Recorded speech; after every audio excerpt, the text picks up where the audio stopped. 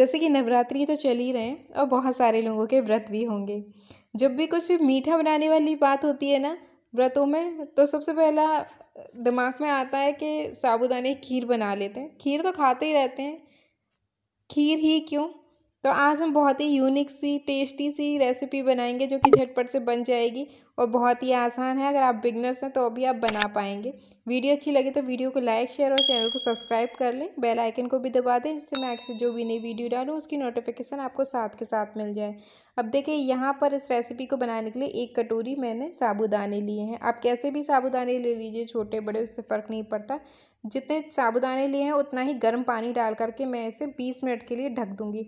अब इसमें हमें चीनी नहीं डालनी है, इसीलिए मैं ये मिश्री डाल रही हूँ, क्योंकि चीनी हेल्थ के लिए अच्छी नहीं होती, लेकिन ये अच्छी होती है। इसको पीस लेंगे, पीस करके बस इस तरीके का बारीक बूरा इसका बन जाएगा। अब यहाँ पर मैंने एक पैन लिया है, आधा चम्मच ही घी डाला है इसमें, और इसमें मैं कुछ ड्राई फ्रूट्स ले रही हूँ, इनको अच्छे से भून लूँगी।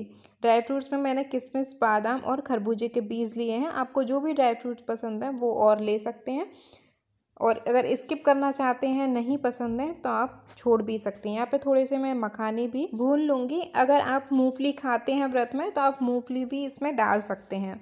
उससे भी बहुत ही बढ़िया फ्लेवर आता है, खाने में बहुत ही अच्छी लगती है। तो जब मखाने अच्छे से भुन चुके हैं तो इन्हें भी हम निकालेंगे। बहुत ज़्यादा देर नहीं लगी है, सारे ड्राई फ्रूट्सों को दो दो मिनट ही मीडियम फ्लेम पर मैंने जो है भुना है। बीस मिनट हो गए हैं और ये अच्छे से इन्होंने सारा पानी सौंक लिया है और ये फूल गए हैं। तो हम इन्हें मिक्सी के जार में डाल करके इनको पेस्ट बना देंगे, इनको अच्छे से पीस लेंगे। अब देखिए ये काफ़ी थिक लग रहा होगा आपको, क्योंकि इसमें हमने पानी कम ही डाला है।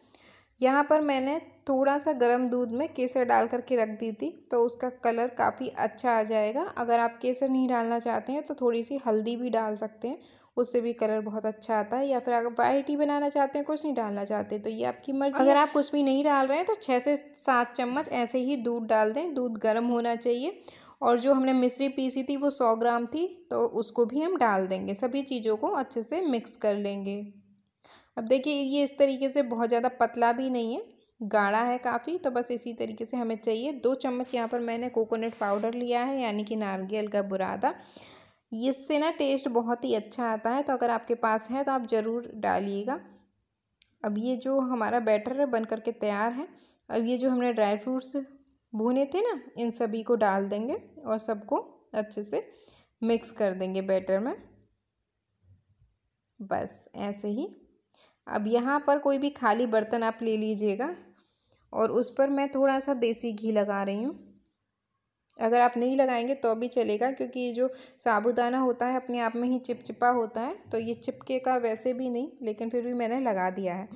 ठीक है, और इसको डाल देंगे जो हमने बैटर बनाया है साबुदाने और ड्राई फ्रूट्स का। अब यहाँ पर मैंने एक बर्तन ले लिया है और उसमें पानी भर करके रख दिया है। और ये छलनी ले लेंगे जो छेद वाली होती है, इस पर ये जो हमने बैटर बनाया है इसको रख करके, ढक करके तीस मिनट के लिए छोड़ देंगे। फ्लेम हमें फुल ही रखना है। तो तीस मिनट हो चुके हैं। अब देखेंगे अपने बैटर को। ये बिल्कुल भी नहीं चिपक रहा है। काफ़ी अच्छे से ये सेट हो चुका है। पक गया है। तो इसको ठंडा होने के बाद में आप पलट दीजिएगा प्लेट में। बहुत ही यूनिक रेसिपी है, बहुत ही टेस्टी बनती है। अगर आपने एक बार बना ली ना तो आप व्रत क्या बिना व्रत के भी इसको बनाना पसंद करेंगे। इसका स्वाद भूल नहीं पाएँगे आप, बहुत टेस्ट टेस्टी होती है। बिल्कुल ही मुँह में डालते ही घुल जाने वाली। तो ये हमारा बन चुका है साबुदाने का केक, जो कि खाने में बहुत ही डिलीशियस होता है। बच्चों को, बड़ों को, सभी को बहुत पसंद आता है। तो इस बार साबुदाने की खीर की जगह आप इस रेसिपी को ज़रूर ट्राई करिएगा।